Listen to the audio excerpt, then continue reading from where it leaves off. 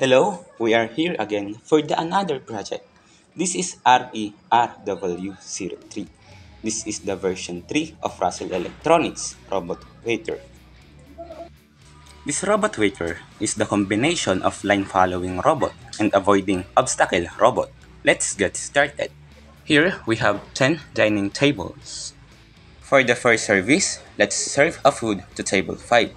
We select the number of table we are going to, which is the table 5. Then let's put the order of table 5. After we put the order to the robot, the robot will count 5 seconds before it leaves its place and go to its destination. If the robot encounters an obstacle at the distance of 30 centimeters and below, the robot will stop. If the robot has reached its destination, the customer must take his order and return the serving tray to the robot. For the robot to know that it can be returned to its destination after 5 seconds, the robot will return to its destination.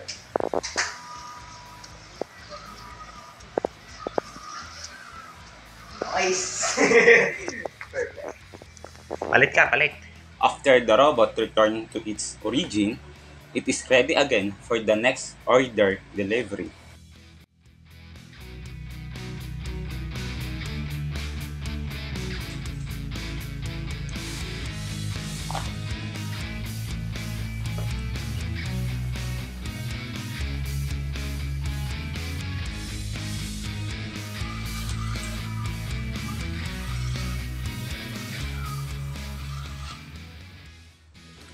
And repeat the process we did before.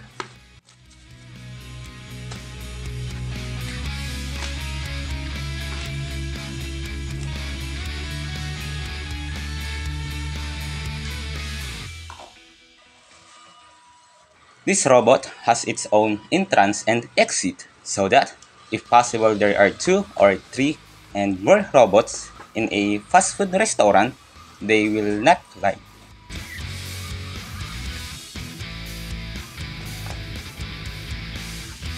you.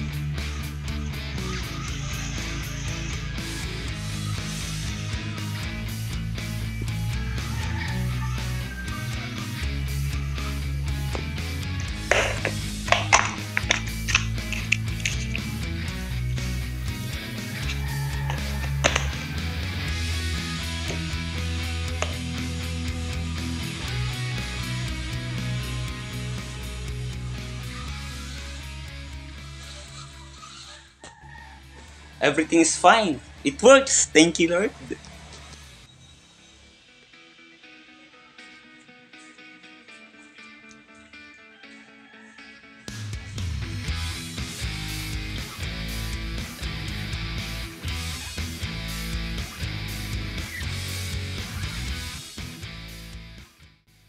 In this project, we use a white tarpaulin, electrical tape, and black colored paper.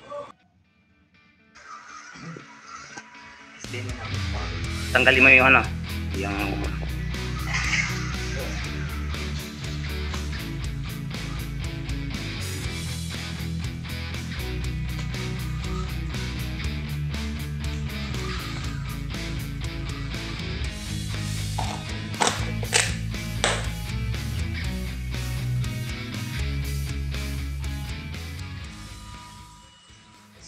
In this project, we will use a 4x4 matrix Arduino keypad to select the destination or table number that the robot will go to. We can define the number of table we selected on the LCD display. In this LCD display, we can see the number of table that the robot will go to. This is HCSR04. This is ultrasonic distance sensor. It detects the distance of the obstacle in the unit centimeter. This is light dependent sensor or LDR. It is also called photoresistor. It detects if there are orders to serve. Underneath the robot are four motors and three IR sensor module. The purpose of red IR sensor is to detect the black line and maintain the direction of the robot is parallel to black line, while the green IR sensor is to detect the number of intersections that the robot has passed. Let's see what else is inside this robot. This is L293D motor driver module. Its job is to run the four motors. This is Arduino Uno. This is Arduino Nano. This is Atmega 328P plus ESP8266. It is same as the Arduino Uno and its ESP8266 is not functioning. There are two photo potentiometers. The one potentiometer is used to adjust the brightness of backlight of LCD display. The another potentiometer is to adjust the sensitivity of photoresistor. And this is breadboard. The breadboard is used for Arduino Nano because the pins of Arduino Nano is males unlike Arduino Uno. And this is the power supply, the battery or we call the cell. The cell this there's are these are two cells that is connected in series. This is to 3.7 volts and capacity of 2100 milliamps hours. The size of this battery is 18650.